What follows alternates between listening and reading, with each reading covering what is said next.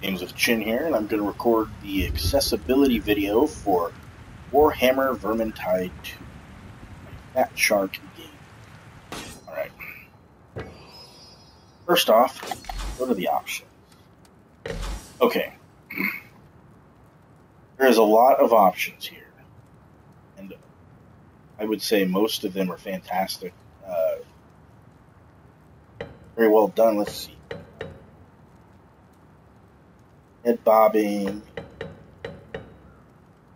crouch. That's that's definitely a very uh, helpful one. Toggle crouch because for people like me that play with their chin, trying to hold down buttons is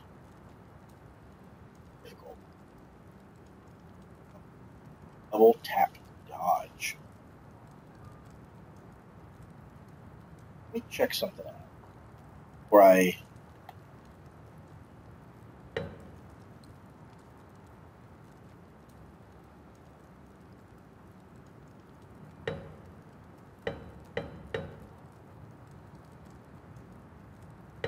Okay. One of the things I wish that this had would be bindings for the Xbox controller. Like, I wish you could actually customize your buttons completely. Um, I know a lot of games let you do it, and I, I know some don't, and that would be a big, very big um, another thing that I wish they would do dodge instead of having to double tap it or what whatnot. I wish you could use the analog stick. Double tap it in a way that you want to dodge. Like how some games have it where when you double double tap, you can run and sprint. This game doesn't have sprint, which is fine. I wish they had it where you could double tap the direction want to dodge, and it would dodge that. Having to hit a button. That would be really huge. Uh, probably even a game changer, honestly. That's something that I hope they can. Another thing would be. Oh, I'm going to back out of the options real quick. Legacy sticks is where up on the joystick, go forward. Down, you go backwards. Left on the joystick, left, right turns right. It's on the same analog stick. For me, it, the left stick is the right stick. But most people, that would be the left analog stick. I guess he sticks again would up moves forward, down moves back, left turns, right turn. And on the other analog stick, which would be the right analog stick, well, up looks for me down. I have it set to invert, but it would be up as up. Um, left strafes, right strafes. Sorry for the dogs. We have maintenance and dark a little bit. Let's go back Wrong way. Okay. Another reason that would be easier if you could customize your own buttons is because on the Xbox I had to swap my L and my R B so I could actually do the move, rear move. Um, but so another thing, which what I was saying is legacy state. I have the Xbox Elite 2. It allows me to make legacy sticks by default. However, not everybody has the ability to afford Xbox. Legacy sticks would be so incredibly helpful for those who don't have the ability to use two analog sticks simultaneously. Allow them to run and turn to fight instead of having to take their, in my case, my chin off the analog stick to turn. It, it takes time away from the fight. This game, especially when you're playing on Legend, Cataclysmic, champion, that is so crucial. If you hit once and your health will deplete. That would be something that would be um, another thing would be guarding. That could. Gotta hold down the button to guard. I have mine set to the or the right clicker. Well, not everybody can hold down buttons very well, so toggle option would be amazing. Press it, and it, it stays blocking until you press it again, or until you, know even your shield runs out. That would be another. Another one would be toggle aim.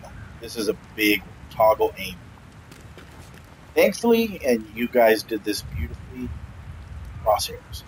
A lot of games do not use crosshairs. You have to, if you aim or you don't Thankfully, you guys did that, crosshairs. Big, big but there's still sometimes with some of these weapons where an aim to do the secondary version of that weapon, which sometimes is kind of thing. Holding down the button is kind of difficult when you want to like shoot while trying to move and hold it down. Shoot. We're not fighting. Sometimes my chin goes off of the analog stick. I end up going from this to this. Happens when you're left to right. Um, you a toggle feature where you just click it and it stays game mode until you press it again. That would be another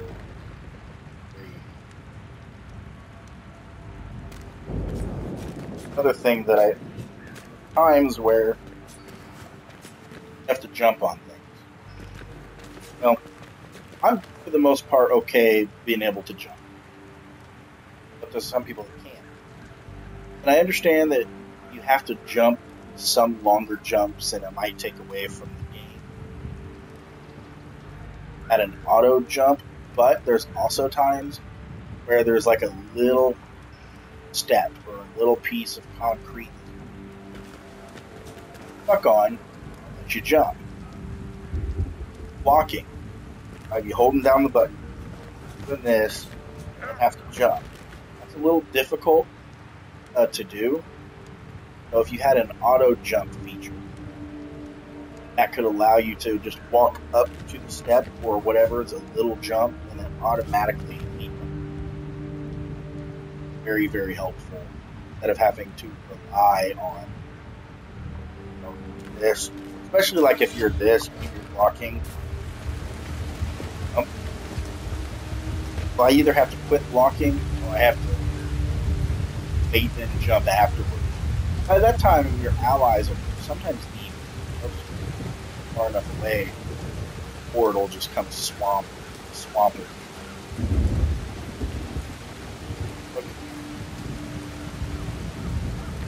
regard.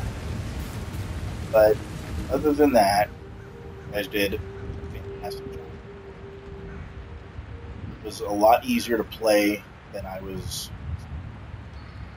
well, when I first played it, I wasn't able to play it well because before I got the Elite Two, before it was out, I could there was no legacy sticks. So I'd have to do this number. I'd have to move, stop, turn. It would technically turn. I have it on straight right now because the legacy number that you'd have to turn, like the equivalent of this. Stop, move to the other joystick, find what you want, thing. Move again. Um, well, happen to move and stop like that, he will run away from it. Those are just some of my personal opinions. Especially being able to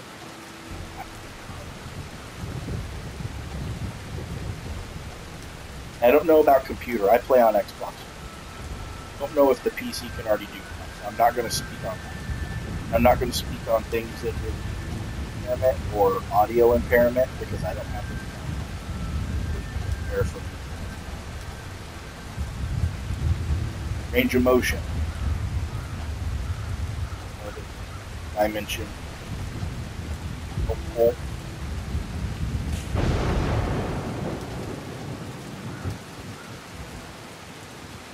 That's it overall. Uh, everything else has been done really well. No problems at all. Good job. Listen, a lot of developers, guys are listening. But actually, I'm glad to see a lot of developers starting that a lot.